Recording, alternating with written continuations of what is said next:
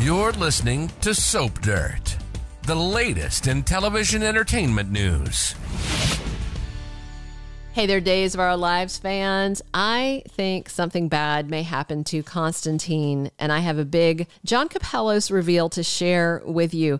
So, the NBC streaming soap has, you know, this sneaky snake new villain, Konstantin Meleounis, and I just found out that something big is going on with him that could mean something very bad happens to who's turning out to be a very, very bad man. Call it karma, but I'm kind of delighted and I'm also quite intrigued. So, we're going to talk about what this means after a recent casting call came out related to actor John Kapelos, who plays the greedy Greek. We're going to talk about that, but if you haven't already, please reach down, click subscribe so you don't miss any of our updates. So, I've mentioned this before, but if you guys wonder why Konstantin looks so familiar to you, he may not sound familiar, but he definitely looks familiar. It's because John Kapelos was a staple in a lot of 80s movies that we watched, know, and love. He played Carl, the snarky janitor in The Breakfast Club. He played the oily bohunk groom in 16 Candles. John Kapelos has worked constantly since the mid 80s, but I don't really remember seeing him use a Greek accent in a role. He may have done, and it just not be in any of the things I've seen, like the John Hughes movies. You know, he definitely does it well, and I'm sure that's because his family is originally from Greece. As fun as John Kapelos is, Konstantin is much less fun. And if you were hoping to see that bad guy exposed and packed off back to his tavern in Greece, think again. Apparently, he is not going anywhere anytime soon. What's really scary about the confirmation that he's sticking around is that it means he might actually get his way with Maggie Kiriakis and make her his bride. I mean, how awful would that be? Konstantin wants the Kiriakis fortune. He actually feels it's owed to him because he says his family loaned Victor the money to get started that he ended up turning into the gazillion dollar corporation Titan Industries. So Konstantin was completely outraged that Victor left him nothing in the will. I mean, hello, have you met Victor Kiriakis? John Aniston was a lovely man, but Victor, Victor was a true villain. He was a bad guy on his good days, who of course was an absolute delight to watch through all his decades on days, but but not a nice man. Nice to Maggie, nice to some people, but he could be dangerous. He engaged in illegal activities. He had people killed. He was a villain. He was a great villain. So here's the big news about Konstantin and why we know John Kapelos sticks around and why we suspect a bad thing might be in store for him a casting call went out from NBC for a body double for him. The actor is 67, so maybe there's like a stunt or a scene that's too physical for him to shoot or something.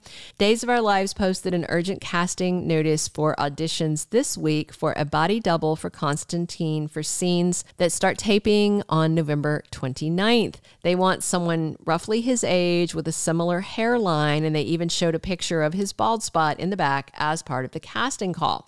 So, why a body double? So, I just looked up the various reasons they might use one because my initial thought when I hear body double is I think about female actresses and it's usually for a nude scene if the actress doesn't want her own body appearing unclothed on camera.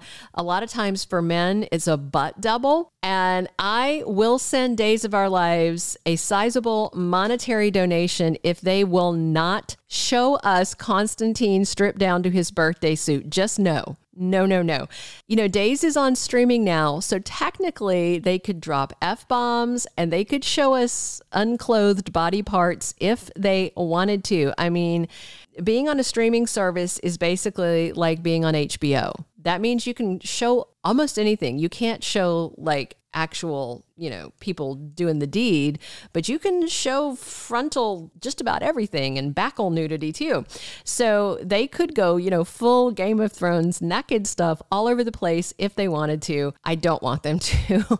no insult to John Kapelos, but I will stick with watching Rob Scott Wilson shirtless in sweats, lifting weights like he was doing as Alex this week on Days. The other situations, though, where they might want a body double is if someone needs a doppelganger for a scene. If you don't know what a doppelganger is, it's a look-alike. Or they may want a double that has a skill that the actor doesn't have, like roller skating or playing piano. But I doubt that's the case because there were no special skills listed in the casting call. And last, they may do it if there's a like a mild stunt scene, not something you need a full-blown stunt double for, but a stunt scene that that would kind of be strange because they're looking for someone age 60 to 70 that seems on the older end for a stunt double. The casting call doesn't mention a stunt. It's very mysterious. But what it absolutely does tell us is that we should expect to see Konstantin still around in half a year because they tape six months out so that means scenes that start taping November 29th, as the casting call says, will air around the end of May 2024. So, why a double and why is he staying? Clearly, to me, this is a, a, red flag that the reveal of Xander as Victor's real secret biological son could be delayed into next year. And I've been told by a fairly reliable leaker that Emily O'Brien is still filming as Theresa Donovan and Gwen is not coming back for the foreseeable future. So that's just another red flag that this fake Kiriakis will and, you know, Secret Son scheme is going to rock on. Maybe into May sweeps. I mean, gosh, that's so far away. Maybe that's when it all comes out though and they need a body double for some sort of death scene or some kind of mildly physical scene that John Kapelos can't do for some reason. Maybe he's got a bad back. I don't know. So, what do you guys think about this casting call and what it it means? I mean, at the very minimum, it means we're still going to be seeing him in six months, and that's not a good thing because he's a bad guy and he is targeting Maggie, and that has me very, very worried for Maggie. I mean, were you like me? Were you hoping to see Konstantin and Theresa exposed much sooner than May? I have a couple more questions for you, but if you haven't, please reach down, click subscribe so you don't miss any of our updates. And be sure and tell me in the comments are you kind of upset that Konstantin and Theresa are sticking around and these storylines are going to drag on for a bit? Do you think Konstantin will be able to trick Maggie into marriage? I mean, you know, Steve Johnson is onto him, and he and John Black are planning on going to Greece to try and dig up some dirt on him.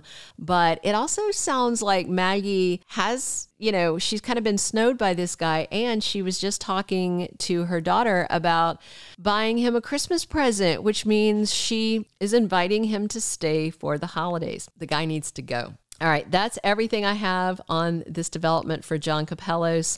Let me know what you guys think in the comments. Come back soon. I'm here seven days a week talking days with you guys. This has been Belinda from Soap Dirt. Thank you for being a loyal listener. Follow us wherever you get your podcast because you don't want to miss the next episode. Soap Dirt is on all the major podcast platforms, including Apple Podcast, Spotify, iHeartRadio, and more.